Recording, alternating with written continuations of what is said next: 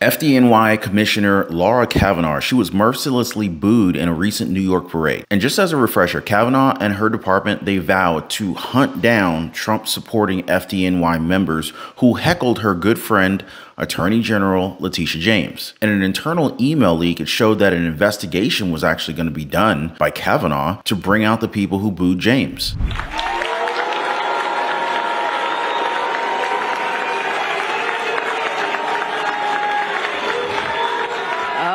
Come on, we're in a house of God. First, um, simmer down. Thank you. Thank you. Thank you for getting it out of your system. I want to thank Commissioner Kavanagh and Chief Hodgins for that recognition. FDNY Chief of Department John Hodgins even went on to say that they were already investigating and encouraged those who jeered at James to just admit their mistake because they don't want to quote unquote hunt them down. From the chief of the department saying that he recommends those who protested come forward. So the commissioner, Laura Kavanagh, won't have to, quote, hunt them down. Now, you would think that officials who work for such esteemed offices would be much more professional than this, but no, this was not the case. Although Hodgins did say that these weren't his words, this was one that was straight out of Commissioner Kavanagh. Now, this has led to a firestorm online with New Yorkers just absolutely furious and offended by by how the rights of these firefighters were being trampled on. First Amendment rights, mind you. It even led to two attorneys to come forward and offer their services for free if ever any of New York's bravest face any kind of legal action from them expressing their opinions. And just to again remind you of how smug Letitia James can be, critics called her out for telling firefighters to simmer down, we're in a house of God, after she was being heckled. Now, some say that this is her looking down on New York's bravest and just kind of treating them like children. Well, now both Kavanagh and James have something in common. They've both been booed and heckled by the people of New York.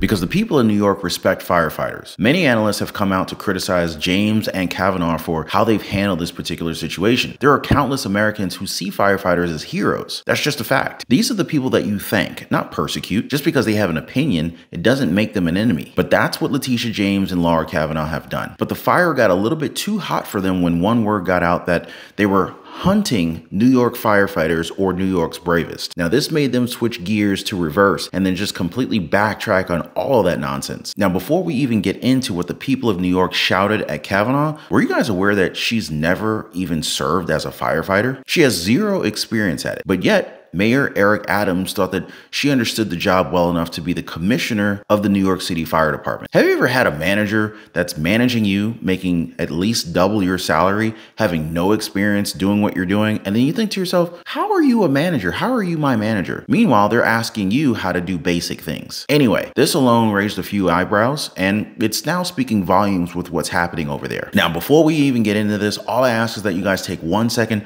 drop a quick like for the video. I totally appreciate you guys. And I want to thank you so much for sharing this video. This definitely helps to get the truth out there. Now, there were many things that were shouted at Kavanagh during the city's annual St. Patrick's Day parade. Some stuff I can't even repeat on here. But there was one that was repeated and it was the phrase, you suck. Someone also shouted that firefighters are the hunters, which may sound a little bit off to some, but you gotta remember that it was Kavanagh herself who coined the term hunt. There was also a poster of an edited photo of what I believe was Kavanagh's face on a donkey. And while I can't say what was on the poster itself, you guys should probably already have an idea because you know what else a donkey could be called. But we have to consider how firefighters responded to this, right? Because as Kavanagh made her way through the parade, chants of Trump were being started. Now, this is very similar to what happened to her good old friend Letitia James just the other day during the promotion ceremony that she attended. Firefighters in line at the parade, they smiled and gave thumbs up to the Trump supporters at the side. There were officials who were also a part of the parade who even stopped just to shake hands of those who were protesting.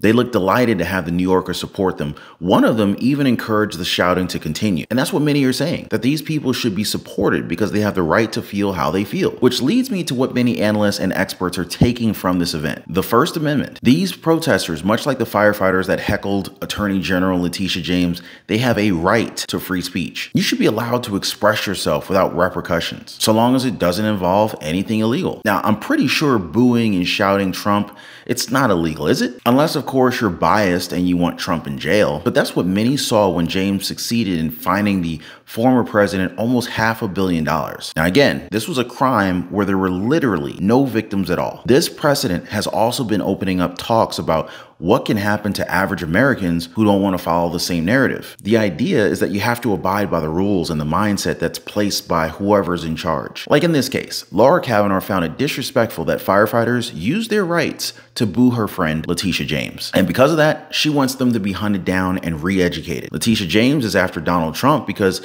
he's being seen as a threat to President Joe Biden and the White House. And this is what a lot of people are talking about right now. The discussion is that these people, they're not fighting for Trump. They're fighting with Trump. They're fighting for the United States of America and they're fighting for each and every US citizen that lives here. The idea is that we deserve to exercise our rights. And if they can do that to New York's bravest and a former president of the United States, then what's stopping them from doing this to you? And the pushback is starting in New York with the people. Now, while this movement is generating even more support from Americans across the nation, another roadblock has come up for the former president Donald Trump. His legal team has recently said that finding a private company, a surety bond company, to guarantee the $464 million that he's been ordered to pay in New York it's practically impossible. His team has also said that they spent countless hours negotiating with one of the largest insurance companies in the world. The problem is that very few bonding companies would even consider a bond like this due to its magnitude. 30 companies were said to have turned Trump's legal team down. A president from a private insurance firm even gave his lawyers an affidavit that said